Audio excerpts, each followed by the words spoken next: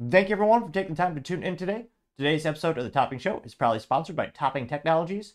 Topping Technologies is an IT value-added reseller and services company with a special proficiency in IT security.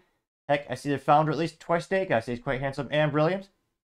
He's me, you see, that's a joke. If you're an IT leader or business owner, you can reach out to the team at sales at toppingtechnologies.com. Also, try and get to 4,000 subscribers by the end of the month. So if you can click that button and tell your friends, I would greatly appreciate it. Now, going over to the business part of the podcast, you have Hobby Lobby increasing their minimum wage yet again. They are perhaps best known for being closed on Sundays and being a faith-based hobby organization.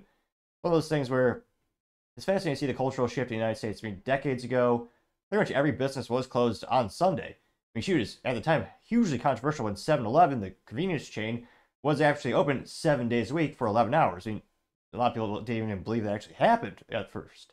But with Hobby Lobby, they have been a stalwart of you know keeping the Sabbath day sacred, and it's one of the few stores that's still closed on Sunday. And impressively enough, does better than most of the most of the competitors, even though they're also closed on Sunday. Very similar to Chick Fil A.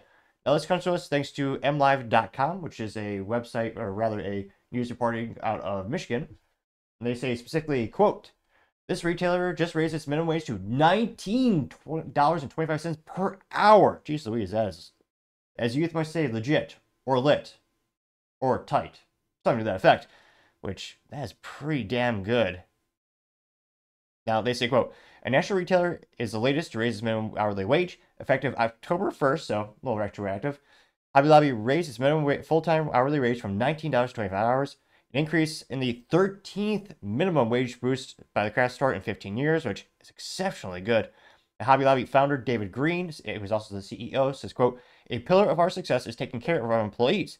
For decades, we have closed our stores on Sundays and at 8 p.m.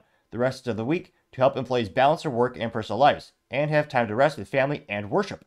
We work hard to provide some of the best wages and benefits in retail, which allow us to attract and retain great team of associates to serve our loyal customers. You noted that the chain also offers medical, prescription, dental plans, 401k with company match, which is ridiculously good. It's one of the few things I miss from corporate America. They also offer flexible spending plan, long-term disability benefits, life insurance, vacation pay, sick and personal leave, holiday pay, chaplain services, and employee discounts. Wow, the number of locations actually continues to increase. They say, of course, founded in 1972.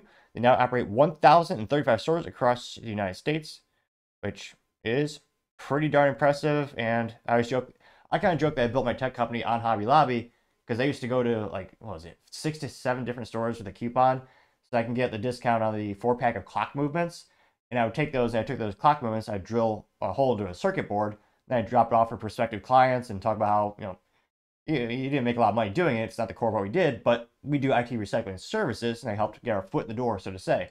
And truth be told, if you want to learn more about Hobby Lobby, one of my favorite retail books that I read last year was More Than a Hobby by David Green. I had to reference my bookshelf over there.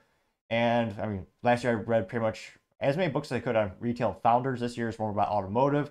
Let me know if you have any interest in me putting that in the you know description of the video, or if you want me to do like a cliche book of the month, you know, summary. Let me know in the comments because, as always, be fascinated to hear what you have to say. Thank you everyone for taking the time to tune in. Again, trying to get to 4,000 subscribers by the end of the month, so if you can click that button, I greatly appreciate it. Also, give me a thumbs up, thumbs down, or comment. It's a great way to give me some additional feedback, letting me know how I can make the show better and better. Lastly, don't forget to take time to tell your family, tell your friends, tell your coworkers, heck, your enemies, anyone and everyone, just stay safe and fight the good fight.